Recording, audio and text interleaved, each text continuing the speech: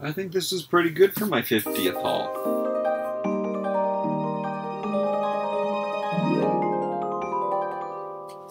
Lately, I've been opening my toys without doing an actual haul video and it's been a while. It hasn't actually been that long. This is the one that's numbered, haul number 50. I don't know if it was special enough. It's kind of special in the way that I say that this is my last one. Now, it's not going to be the last toy I bought, but I think I really am at a point where I realized that I've gone too far. From my last shopping experiences, I've actually taken back some of the stuff that I bought.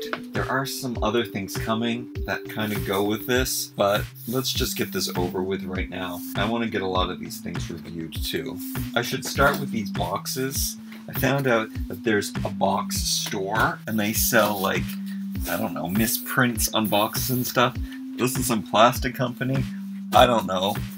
I just bought 30 of these to replace the old ones that I moved with that are just all different shapes and sizes. If you want to store things, a good thing to do is to get all of the same boxes. So, and sometimes this company has more. So if I need more than 30 of these, which is crazy, I know, and I have more stuff than that, I don't know if I'm gonna need more or not, but I think that they keep this kind in stock so I can go back and get more if I need them. That's the first thing. 30 of these, they're huge, and I've got about 10 filled with toys already. Anyway, I'm opening up this room and I'm gonna put the stuff in my closet and not use my walk-in closet as a walk-in closet. Ideally, I need to get another room for just toys. That could happen in the future. I don't know. I'm gonna have to see. Let's look in here and see what I got. These Grossery Gang figures, I found these at Walmart. They had this one set. They have more on the back. I have a feeling that I stumbled upon the full set and that some of them are not released yet. So I got six of these. Let me show you them. They're like Grossery Gang, little minis. They actually come with one, but they're actually action figures. And they remind me of an old, I think it's a 90s line called Food Fight, which were food dressed up as soldiers. But anyway, I think these are cool. This is the first new action figure in a long time that I have been drawn to, so I just bought every one they had. Walmart was clearing a lot of stuff they were clearing new things, they were clearing old things. They get so confused when they're having giant flips. All of the stores are flipping their toy inventory for the Christmas holidays. This was a dollar. It's made out of wood. I do have a baby toy wood collection in one Rubbermaid bin. I have these environmental collection. One day I'll show you that. I really like a wooden toy, so every time I stumble upon something like that for a dollar, I'm definitely going to get it. It's really heavy, really nice quality. This is the mistake that Walmart made. This is the new Series 1. They started all over again. I saw these in stores and I really wanted to get them. I think they were around $22 or something. Well, at Walmart they were 18 so these were half price. These were $9 each. I scooped those up because they're brand new and Littlest Pet Shop's looking super duper cute now. This I wanted for a long, long time. It is the only time that I know about that Bubble Guppies got an actual action figure. They make figures with little wheels on the bottom. I don't really like them. This is like the first Bubble Guppy figure and such a great review for the pool. It's a cute boat. It's been on clearance for quite a while, but it went even lower, so I finally got it. This I found at Toys R Us. One of my least successful reviews on YouTube are these Mickey and the Roadster Racer toys. I think these are amazing. Just the style of that car and the colors and they're like tough gas station toys. I love them. I love this series. I have a Pluto coming in from Fisher Price quite soon. Before the flip had started, or around the beginning of when the flip was starting, I found these just randomly on the shelf, and something told me to check the price on them. They scanned at $2 each. I snatched these up. I see that this is the brand new packaging. They're 12 or $13 now on the shelf at all of the other Walmarts. $2 I don't know what possessed me. They weren't even in some weird section or anything. Something said, you need to scan those, Jason. I don't know if I showed you these in my last haul. I'm pretty sure I didn't. The latest series of DC Super Friends is really cool, and I'm really happy to find this Aquaman, and I thought I may as well get this Tornado while I was at it.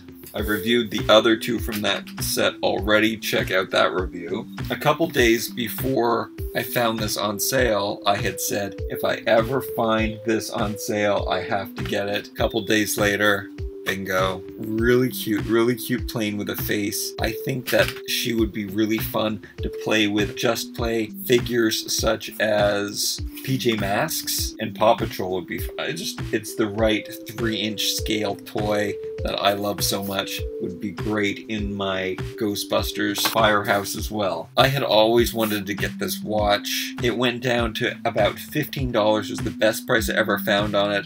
I kind of waited and said, oh, maybe I'll get it cheaper one day. I have the first series of figures. However, this showed up at my Dollarama for $4. That's the maximum price that something costs at the Dollarama. But not only did they have that, they had another wave of figures. So I do have the first one. This might be the second wave. I don't know.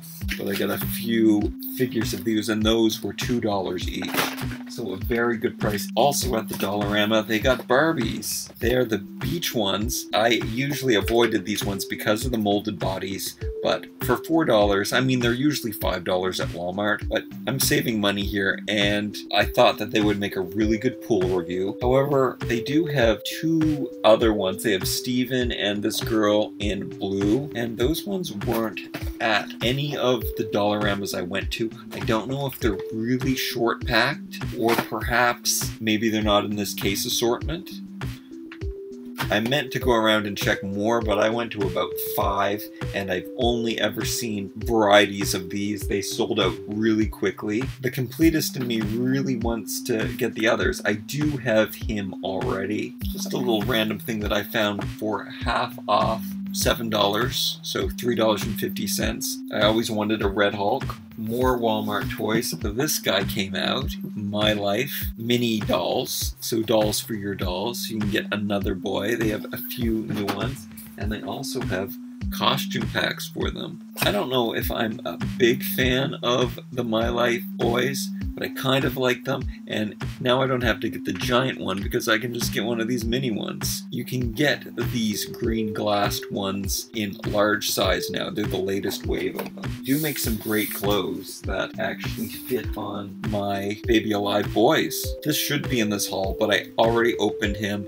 Check out my review of the latest Baby Alive boy that I got from Target. I had to order it from Target because I'm only seeing the darker complected and the blonde here in Canada. I also ordered this which I believe is a Target exclusive, so that came from Target. Maybe I showed this in my last haul. I don't think so. For me to get free shipping from Target, I needed to spend $100, so I did throw her in as well, even though she is available here in Canada. She's the best one because she's a full doll with clothes, no molded on parts. So I actually took back the one that came with R2D2 in the molded pants. And I think online I've just seen that there's going to be another R2 and Leia release, and she's wearing the full white robe. And these two things also, I know that these are Target exclusives. These were like under $10 each. It rounded off my $100 free shipping, and I got some really cool things. Now I have to hunt down the ones that I didn't pick up, Lagoona and Cleo, which I have hidden in a couple stores, so hopefully if I do visit those stores, I will be able to find them. Uh, the Claudine playset might be a little more difficult to come by considering that is also a Target exclusive and they do not have that available online for purchase. This came in from Mattel, which we do have this in Canada, but it was for me to be able to get this Abbey. I took her out of the box and I showed her in a live stream. Be sure to check out that video where I take a look at all of the cool details of her. She is awesome. I definitely recommend picking her up. She will be available from Amazon in November, but right now at Mattel.com. I also got all of these from Mattel. This is very last Ever After High stuff for me to get. I never got these two styles in one sets, and I also picked up this set, and I do have the other one. Where's the Frankie one? You can see that up there. And this actually is the most current Ever After High thing to get. So I had to pick up that as well. This is an awesome set. I can't wait to get the other back to school girls. I think that's what they're calling it. It says back to school. It's a lot of older items that they've included. It was a good haul. A lot of these reviews are already up. Tell me which things you want me to review if you haven't seen them reviewed yet. Like, comment, and share this video. And thank you so much for watching. See you next time.